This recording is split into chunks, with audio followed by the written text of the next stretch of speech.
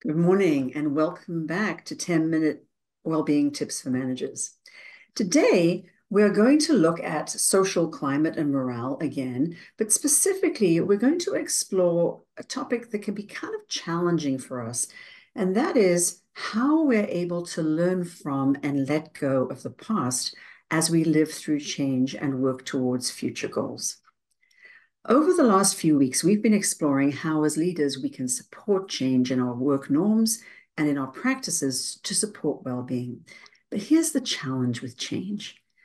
While change represents a chance to try something new or achieve goals we've set for ourselves, change can also feel disruptive, frightening, unpredictable, or emotionally exhausting. And we may feel that we are being asked to take a chance with no certainty of success. So, even though a simple Google search yields an endless supply of inspirational and motivational quotes about the benefits of learning from and letting go of the past, such as this one by Tony Robbins, these may discount the reality that this is not easy work. Whenever we embark on a change journey, we will bump into obstacles that challenge our motivation and our engagement. And several of these lie in how we think or in our mental models. So let's explore those now.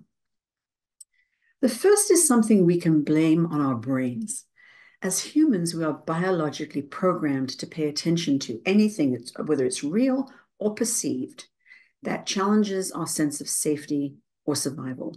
And this is being called our negativity bias. So we may hold on to the past because we remember negative experiences so clearly. And we feel the power of losses or potential losses much more than the promise of gains. And psychologist Barbara Fredrickson has this wonderful quote that reminds us that the negative screams at us while the positive only whispers.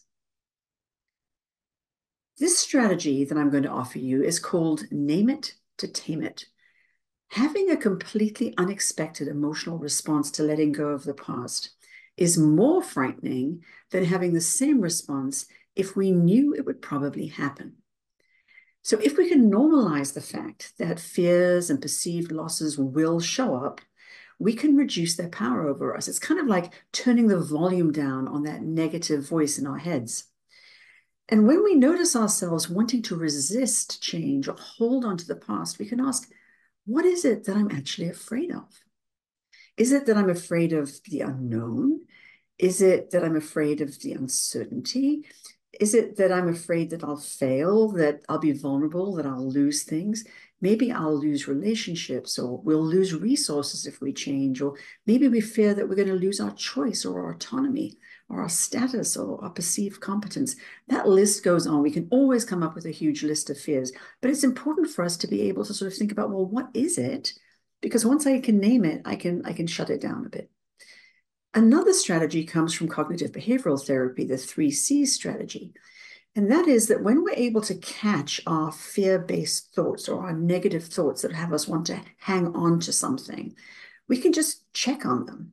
So, if, for example, the fear is, well, we've never taken lunch breaks in our team before, and if we do that, our patients will be harmed. Well, we can actually check on that. Is that in fact true? And here's where the evidence base around breaks, or stories of other teams that have implemented breaks successfully can be really inspiring to us. And then once we've been able to check our, our, our thoughts and our emotions associated with those thoughts, we're then able to change our response. So while we must acknowledge fears and losses, because they're always possible, we also need to be asking ourselves, what else is true about this change? What could we possibly gain? And if you find yourself a complete impasse with your team, perhaps you could try something like a vision board.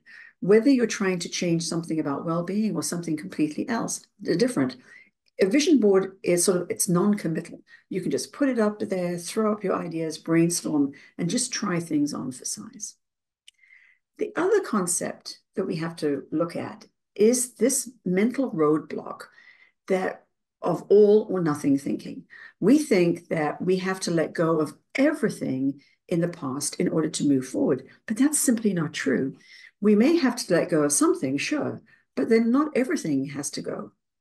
Now, William Bridges, who developed a pivotal transition model, which I encourage you to look at if you haven't, said that transition starts with an ending and that this is paradoxical, but it's true, that the first phase of transition begins when people identify what they're losing and learn how to manage those losses.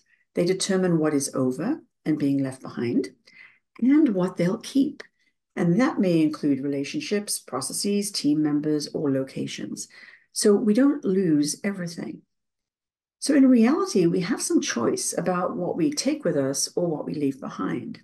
And as leaders, we can support our teams reflect on our current skills, strengths, resources, relationships, and practices, and decide how we will carry these with us on this change journey, how we will invest everything we already have as we move forward with this change process.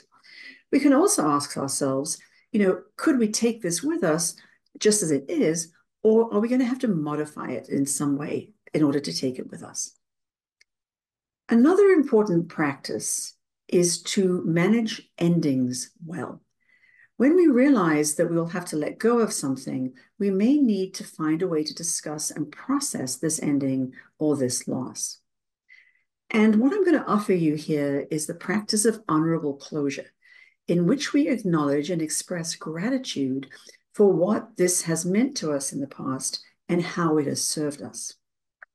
This is not unlike the process we go through when we move communities or houses, you know, perhaps or colleges or relationships. These served us well in the past, but they don't serve us well now. We're moving into something new that we're excited about, but we still want to remember the good in our past. Perhaps we want to keep pictures of it. Perhaps we wanted to create a memory book. It's a way that we honor what's been in our lives. Now, I'm actually going to, to suggest something to you that that may seem a little counterintuitive. And that is this it is extremely important that we try and find gratitude in our change and what it is we're leaving behind. We want to find these hidden treasures in our past experience.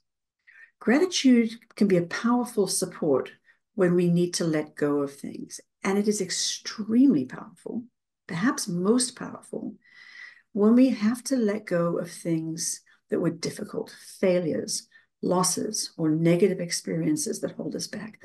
Many of us who have these negative experiences in our lives just hang on to the memories of those.